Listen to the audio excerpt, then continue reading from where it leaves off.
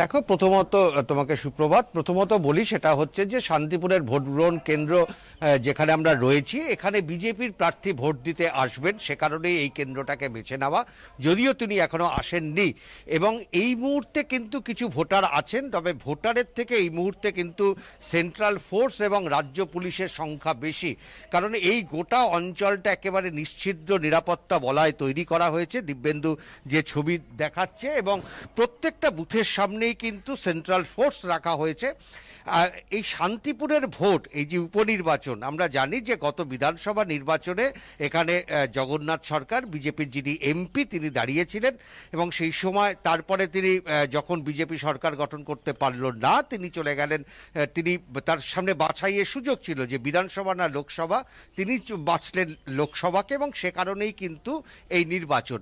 এই নির্বাচন, এ শান্তিপুরের নির্বাচনে এবার কিন্তু জমজমাট লড়াই এই কারণে যেখানে যেমন তৃণমূল কংগ্রেস লড়ছে, বিজেপি লড়ছে, সিপিআইএম লড়ছে এবং আলাদাভাবে কিন্তু কংগ্রেসও লড়ছে। অর্থাৎ এখানে কিন্তু বামের, বাম কংগ্রেসের যে জোট, সেই জোট কিন্তু এখানে হয়নি।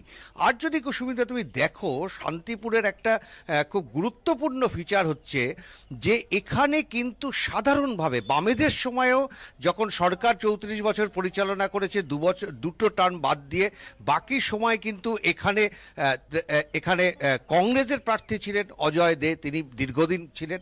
আবার উল্টো দিকে যখন তৃণমূল কংগ্রেস এখানে সরকার রয়েছে, এখানে কিন্তু বিজেপি জয়লাভ করেছে। ফলে একটা সরকার বিরোধী একটা ভোট বা মানসিকতা কিন্তু এখানে দেখা যায়।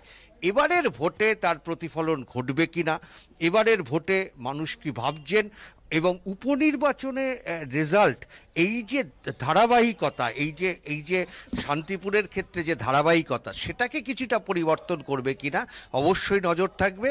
এখনও পর্যন্ত কোথাও কোনো কিছু অভিযোগ নেই। সমস্তটাই নিয়ম মেনে হচ্ছে। অধিকাংশ ভোটেই চারটে প্রার্থীরই এজেন্ট রয়েছেন অবশ্যই নজর থাকবে শেষ পর্যন্ত সত্য অন্তহীন। সত্যের খোঁজও তাই। সত্য সন্ধানে তাই আমরা অক্লান্ত অকুতভয়। এবিপি আনন্দ নতুন ভাবনার প্রতীক যা মনে মুক্ত তথ্যে যুক্ত এবং যাবতীয় সীমানার বাঁধন থেকে মুক্ত। সীমা না শব্দটির মধ্যে লুকিয়ে আছে মানা শব্দটি যেন চোখ রাঙানি এক অদৃশ্য বেড়াজাল যা আটকে রাখে আমাদের এক ছোট্ট গণ্ডির মধ্যে। একমাত্র সঠিক খবরই গড়ে তুলবে এক মুক্ত সমাজ।